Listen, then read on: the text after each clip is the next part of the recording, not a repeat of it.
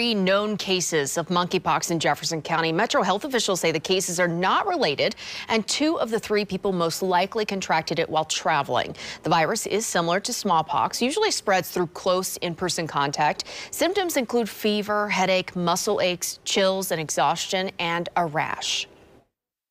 This rash may look like pimples or little blisters, and they um, they will eventually scab, uh, will eventually drain fluid and then scab over. Contact with this rash can spread the virus. Health officials say it's important to remember the risk to the public is low and survival rate for monkeypox is 99%. But if you have symptoms, you should isolate immediately and call your doctor. Well, an icon